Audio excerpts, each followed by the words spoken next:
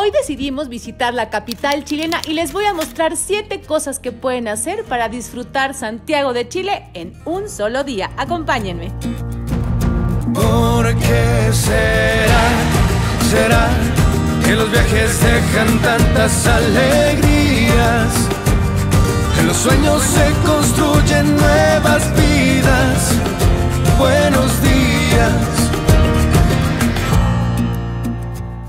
Los invito a que iniciemos este día visitando un sitio con una historia increíble, el pueblito de los dominicos.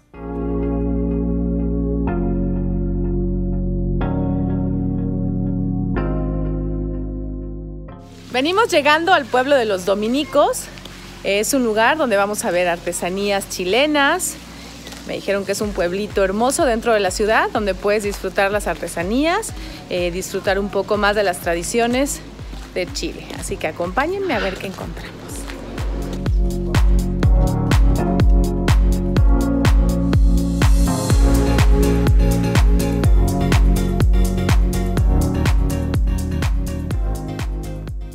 En 1978, a las afueras de la iglesia de San Vicente, le permitieron a cinco artesanos vender su trabajo en el suelo como un tipo de ayuda social.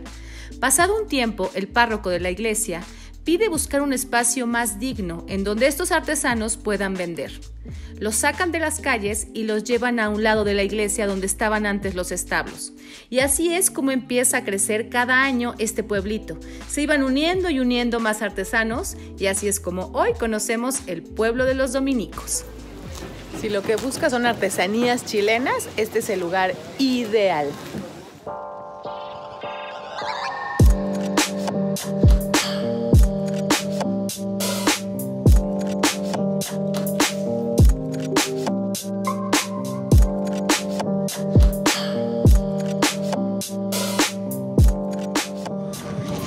Vamos a seguir recorriendo y descubriendo artesanías chilenas.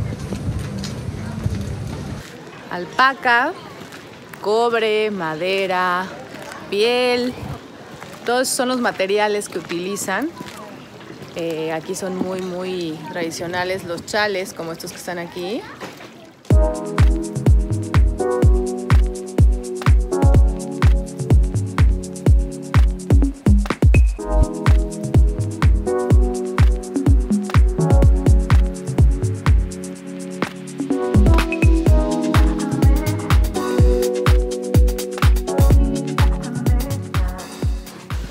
Vale toda la pena que vengan a visitar este pueblito dentro de la ciudad porque van a encontrar todas las artesanías, comida rica y aunque no quieran comprar, de verdad vale la pena solo venir a ver.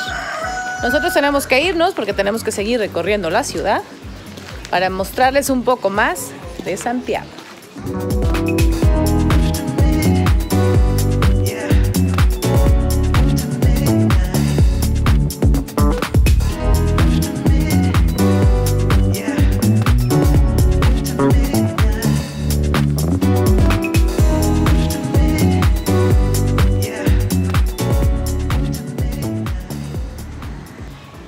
Estamos llegando al barrio Italia, yo diría uno de los barrios con más onda aquí en Santiago. Es entre bohemio, pero moderno, pero encuentras comida deliciosa. Pero un poco de la historia que sé de aquí, de este barrio, es que hace algunos años fue, eh, vivían aquí artistas internacionales, como artesanos internacionales, obviamente los que más había eran italianos y por eso es que se llama el barrio Italia. Y hoy en día, pues es que encuentras artesanía, pero también encuentras cosas con muchísima onda y si te gusta la gastronomía internacional, creo que este es el lugar ideal para, para venir aquí en Santiago. Sí, sí tiene mucha onda este lugar, mucha. A lo largo del barrio Italia podrás encontrar una mezcla de tiendas de diseño y decoración, anticuarios, talleres, boutiques de ropa y calzado, galerías de arte, lindos cafés, pequeños restaurantes. No te lo puedes perder.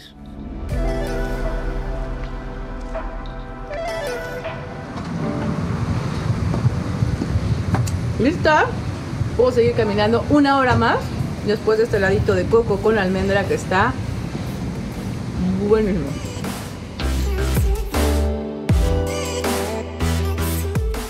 Y si sientes que ya se te abrió el apetito por tanto caminar en Barrio Italia, yo te recomiendo que vayas al Mercado Central de Santiago, donde tanto turistas como locales lo visitan para probar sus típicos platillos chilenos, pero sobre todo sus pescados y mariscos.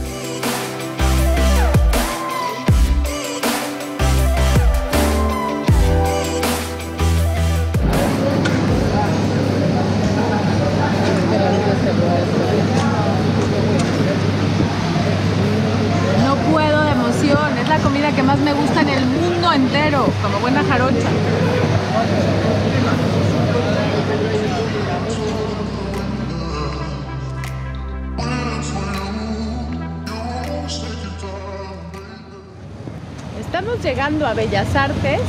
Vamos a aprovechar ahora que estamos en el barrio La Rea, que es uno de los barrios más bonitos de aquí de Santiago. Vamos a ir a Bellas Artes. Tenemos que esperar el siga peatonal. Vamos a ir al Cerro de Santa Lucía y a unos callejoncitos donde hay tienditas como de, pues de artesanos chilenos, pero también de diseñadores chilenos. También allá hay cafecitos. Vamos a disfrutar la tarde por acá. Y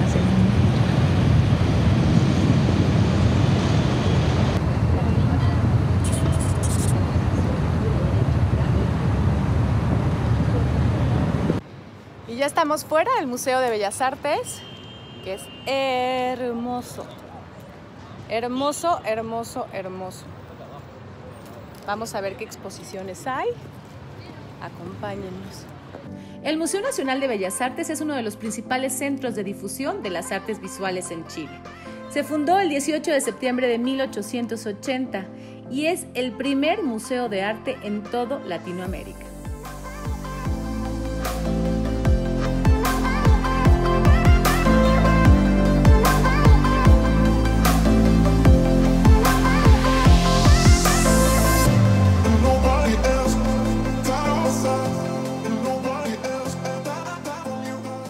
Y aunque tengas poco tiempo como nosotros, que vamos a estar solo un día en Santiago, yo te recomiendo que entres porque vale mucho la pena. Va a haber algunas salas que llamen más tu atención, enfócate en esas, pero no te vayas sin visitar el Museo Nacional de Bellas Artes.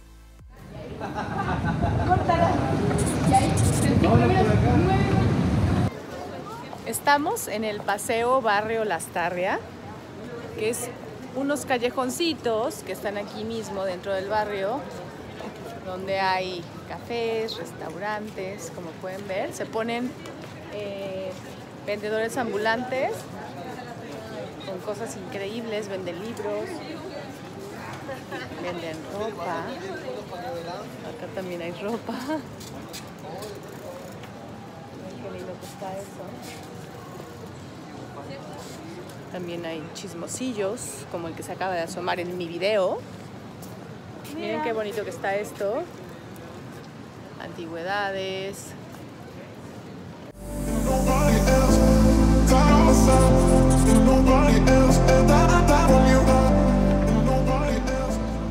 Es increíble estar en medio de la ciudad y poderte perder en un jardín como el Cerro de Santa Lucía. Es hermoso de estos lugares donde puedes venir con una mantita, haces un picnic y vale toda la pena pasar unas cuantas horas, además descansas. Bien nada más que cosa. Mejor se las voy a enseñar bien.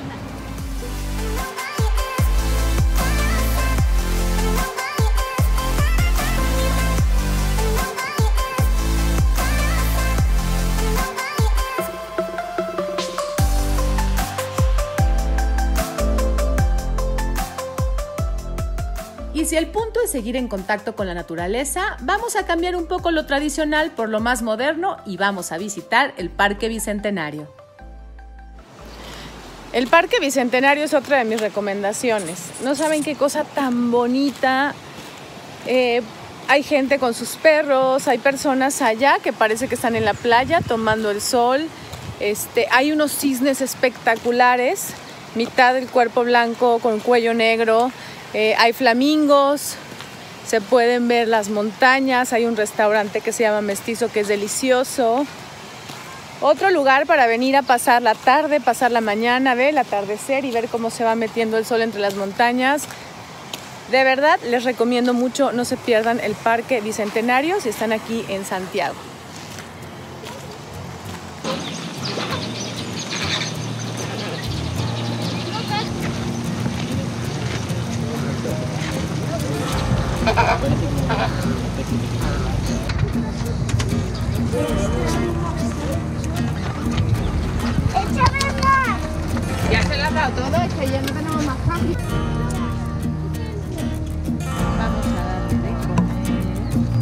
¿Por qué será? ¿Será que los viajes dejan tantas alegrías? En los sueños se construyen